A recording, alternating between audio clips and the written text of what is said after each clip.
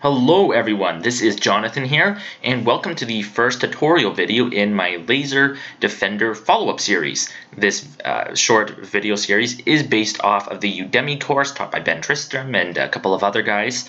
So if you don't already have this project, you can go download it from the Udemy course. You will have to sign up for it, or you can go uh, actually do the project yourself first, which is what I would recommend, and hopefully you're coming to this video series as a follow-up after you've already completed those modules. So let's get right into it by starting to create a cool particle system that will render explosions when your player ship and enemy ships blow up. So to get this, we're going to have to create a new empty game object in the hi hierarchy and call it explosion. And we'll be creating several types of explosions, but for now, just create one single game object, call it explosion, and then go ahead and add a particle render or particle system, excuse me, to it. And make sure that is showing up somewhere in the center of your scene.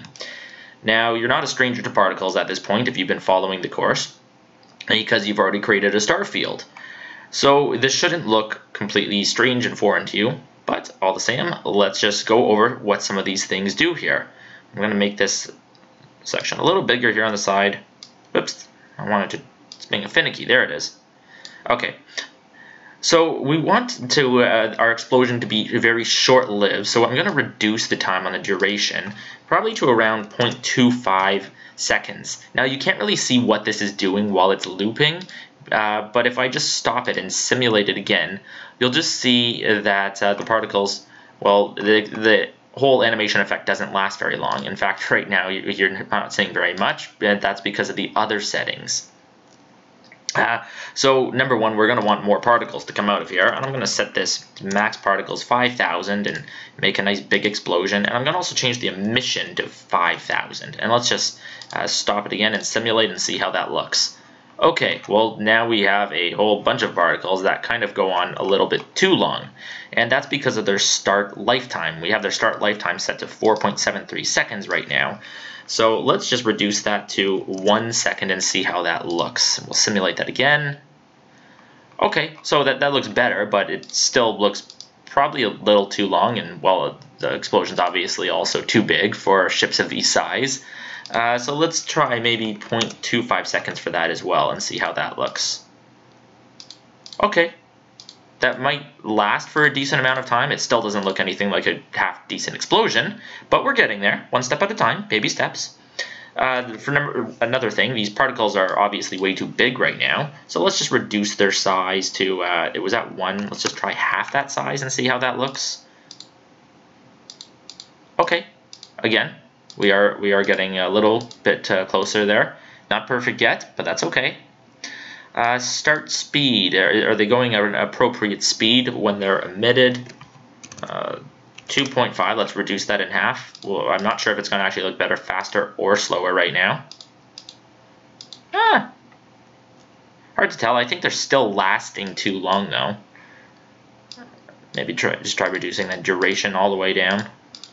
No, you know what? I think I, that was actually an ideal time. So some of this is very finicky, and you can play around with these settings. I don't want to spend too long on this, but I just want to kind of getting get it to look like a halfway decent explosion. Um, I think their start size may still be too big, 0.4. Uh, one thing I don't think you've dealt with is any of these other settings down here. Force over lifetime, color over lifetime, etc., etc. Well, one thing that's bugging me about this explosion is it's very staticky looking, like it looks the same the whole way through. Well, there's a very simple way to change that, and that's by adding some color and some size. So I'm going to go to size over lifetime, put a check mark there, and activate that. And we can almost create a nice fade out effect if we do this by saying uh, we want to give it a curve. And if we double click this bar, excuse me, uh, it, basically I had to pause the video for a second here just to find out why I wasn't able to uh, edit this curve and of course it's because you edit it down here in this particle system curves which had actually been lowered when I started this uh, project because I downloaded it from the Udemy site uh, since mine has already been edited. So if you pull this up, this particle system curves, if it doesn't come up by default, this is where you can actually edit the size of your particles. And I'm just going to pick a default curve here, which is sloping downwards, to basically say I want my particles to get smaller over its lifetime. And looking here, I think it's actually disappearing too soon, so I'm going to up this duration to 0.5. I'm going to change the start lifetime to 0.5. And, uh, well, let's just see how that looks again. I think that's actually going for a decent length of time, but they might be starting too small now because we're lowering the size. So just to make it, there we go. So a lot of this is very finicky and just requires playing around with it and seeing if you actually like what you're seeing. Let's try limiting turning that in half. Okay, getting more explosiony, but it all it all looks way too solid right now. Still, that that's my problem with it here. So oh, what we're going to do is we're also going to change the color of this over the lifetime. And then if you uh, activate this check mark here and press the plus button next to the color, you'll get this window. And then you can change its color.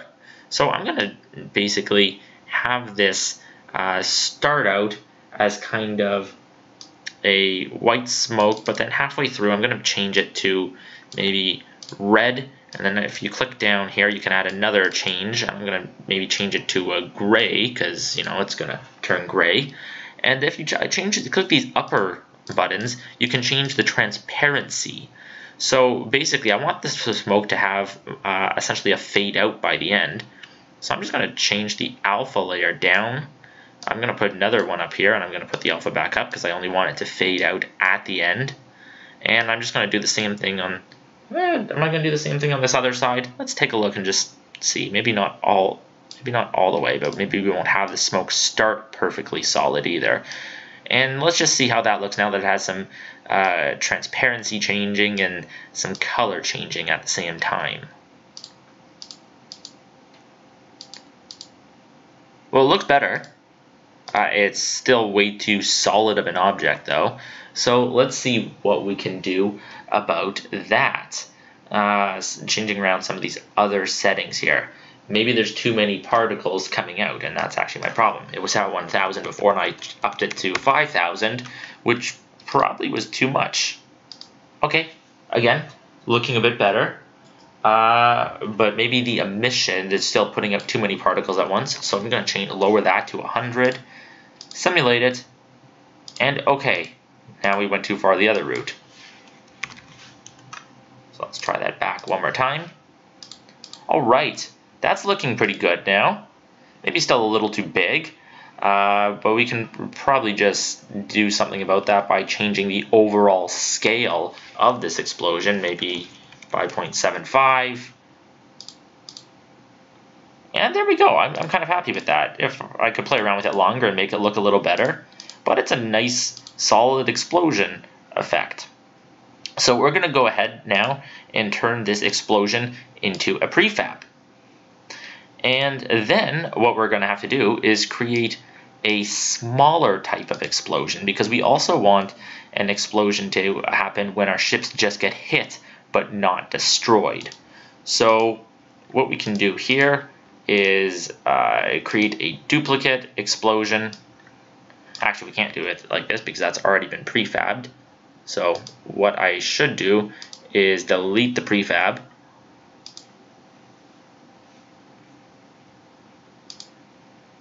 Now make a duplicate of my explosion. Turn that into a prefab and now we can work on this other one here and just rename this small explosion. And what we can do here is uh, just kind of limit the number of particles that are coming out. Um, then we can do a simulation of this smaller explosion. Uh, emission. Oh, we'll, we'll put that at half. Okay, and I might just make even these this start size kind of smaller because it's a small explosion. We don't want it to be as, as noticeable. It's just kind of a short hit effect. And I'll even make it disappear faster so that instead that other one Instead of being half a second, we'll make this a quarter of a second. There we go, just very, very subtle. Uh, so now we have two explosion effects, and I'm going to eh, turn that into a prefab as well. Uh, okay, so cool. Now what we need to do is actually uh, give our uh, give these explosions a chance to happen when ships get destroyed. So let's start with the enemy ships. So we're going to go over and open up the enemy prefab. Uh, where did they put this here? So uh, find your, open up your enemy script, and you'll just have to give me a second because I am working from the Unity project, and I don't remember. Oh, I think, yeah, theirs is just called enemy behavior, isn't it? Yeah. So this would be the enemy behavior script. And what we need to do is we need to create some public game objects that we can put uh, attach those explosions to. So I'm going to create a public game object, explosion, and small explosion. And then we are going to attach that onto our enemy ships. So we are going to go over here in the inspector, look for where it's missing those game objects, and we're going to put prefabs onto prefabs. So we're not going to put these ones from the inspector. In fact, we're going to get rid of those shortly. But for now, we can just go down to the prefab folder and put this explosion on here, and then this uh, small explosion on here. Okay, and back into the script. We are now going to have to instantiate uh, an explosion effect when the enemy ships dies. Now, I just remembered right now the ships die in one hit. Uh, I think they die in one hit, so so there is no use for the small explosion one at this moment, but we are going to instantiate an explosion, the main explosion effect when the ships die. So right over here, we're just going to write game object, uh, I already called something explosion, so new explosion, or enemy explosion, or whatever you want to call it, equals instantiate, and we're going to instantiate our prefab, we're going to uh, instantiate it right where the enemy ship is, because the enemy ship is dead now.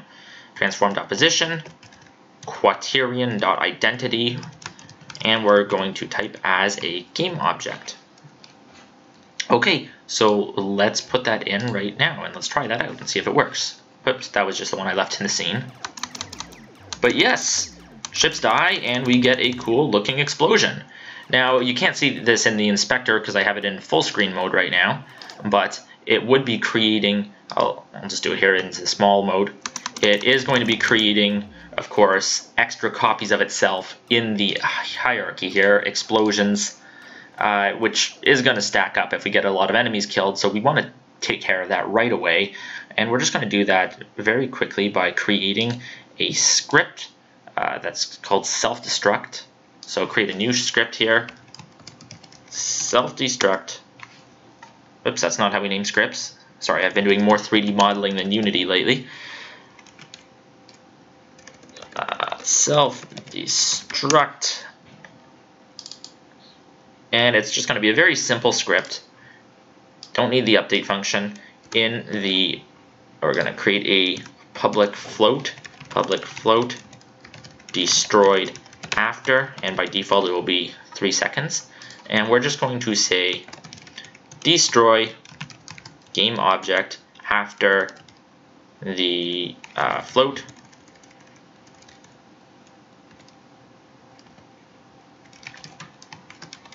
destroyed after. And what this will do is it will destroy the game object in the hierarchy uh, that this is attached to after that amount of time has passed. So we'll just go ahead and we'll attach that on our explosion prefab. What are you talking about? It doesn't exist. I'm going to close my particle system and put this self-destruct script on here. Oh. Ah, because it has a small s over here. Make sure your class is actually named the same thing as your script. So that should fix that problem right there. So we're going to put, attach that, apply the change to the prefab. We can get rid of that in our hierarchy, and we'll do the same thing here to this small explosion, put that self-descript on it, apply, and destroy. And now let's just make sure that those explosions are actually get destroying themselves in the hierarchy. And we can see that they are, they're disappearing up here, which means it's working. So once we get uh, enemy health in place, uh, we'll take care of the smaller explosions and I'm going to just leave it up to you to see if you can figure out how to get uh, that big explosion working on your player ship right now as a challenge to yourself. Uh, that's it for this video. Thanks very much for watching. Hopefully you enjoyed and learned something. Uh, don't forget to subscribe.